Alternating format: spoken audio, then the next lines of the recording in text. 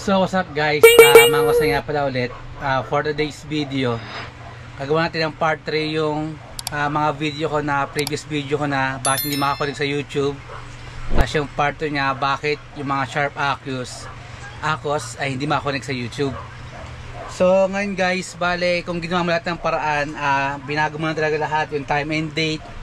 Na-restart mo na talagang wala pa rin ay pa rin mabukas na applications Bali itong video na to para to sa mga outdated talaga ng mga smart TV, mga dati pa yung mga talagang internet TV lang, hindi siya ano uh, ang laman lang niya YouTube, Netflix, yung mga dati talaga.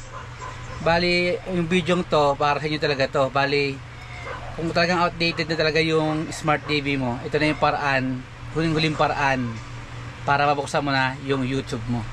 Alright? Let's go. Uh, so yun guys, uh, siya nga pala, nagkabit nga pala ng mouse dito sa Smart TV para mas madali siya magamit kasi kung sa remote medyo matagal eh. Bali, meron akong kinabit na receiver doon na uh, bali USB type doon sa pinaka uh, ano natin, USB na hub.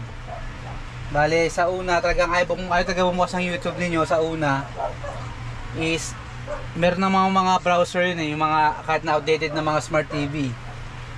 So hanapin mo lang kung ano yung ano yung browser na meron kayo doon. So yung sa akin nga pala is wala siyang uh, browser, ginawa ko, dinownloadan ko lang siya. Bale, web browser, nag-download lang ako. Tapos, yun, ito na yung pinaka-solution na huling-huli talaga na solution sa gagawin ni, na ninyo. Bali, search nyo sa Google Box is yung YouTube. Tapos, bukas lang kayo ng isa dyan. Bawa eto, yan. Bali, ang ginawa lang natin naman dito is hindi na tayo gumamit na application. Dumirekta lang tayo sa mga Chrome or sa mga Google uh, na mga browser para ma-open natin yung YouTube. Yun yung pinakuling paraan natin para magamit natin yung YouTube. Kasi outdated na yung mga application eh. Kumbaga, ito na yung ito na dapat yung kaya ng TV natin na level. Yung TV natin ito pa lang. Kaya ang gagawin natin is doon tayo sa browser, magdedepende. Yung mag-open tayo ng mga uh, YouTube uh, application natin. Try natin mag-search. Try natin mag-play ng video. Ito mga pampapambata lang para kasi pag mga music video may usan ko maka-copyright eh. Sayang lang yung video.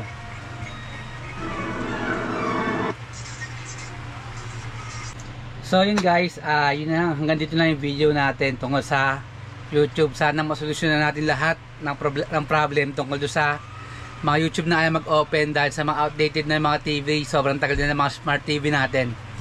So yun guys sana uh, huwag natin kalimutan na supportahan yung channel ko mga channel. Uh, salamat dun sa mga uh, nagsusupport. Talaga nag-subscribe pa talaga dun sa, sa channel ko.